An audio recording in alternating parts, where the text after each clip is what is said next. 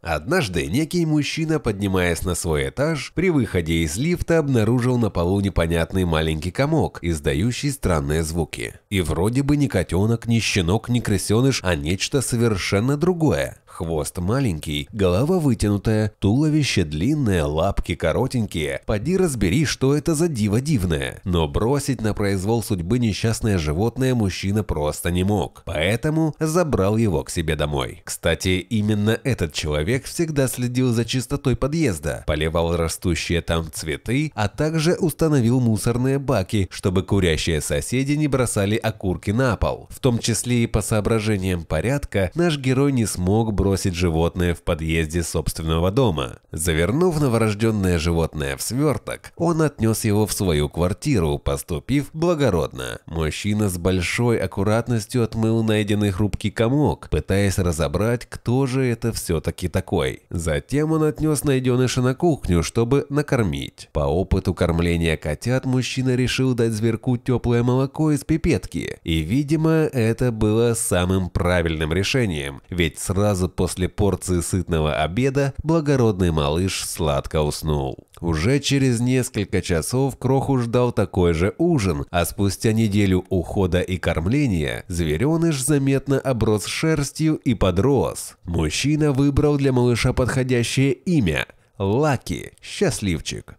Ведь удача действительно улыбнулась животному, когда его подобрал такой добрый и неравнодушный человек. И вот, через некоторый промежуток времени, когда зверек окончательно вырос, стало понятно, что за невиданный комок попал в руки нашего героя. Им оказался баргузинский соболь, которого мужчина не пустил на воротник, а оставил в своем доме как нового члена семьи. Но как детеныш соболя очутился в подъезде жилого дома до сих пор остается загадкой. Еще одна загадка – деформированная часть задней лапы у животного Кириллова, из-за чего он не может долго носиться по сугробам во время прогулок. В любом случае, очевидно, что удачливым оказался не только спасенный Соболь, но и его счастливый владелец. Эта история подтверждает, что иногда судьба преподносит нам неожиданные подарки, а главное не пройти мимо.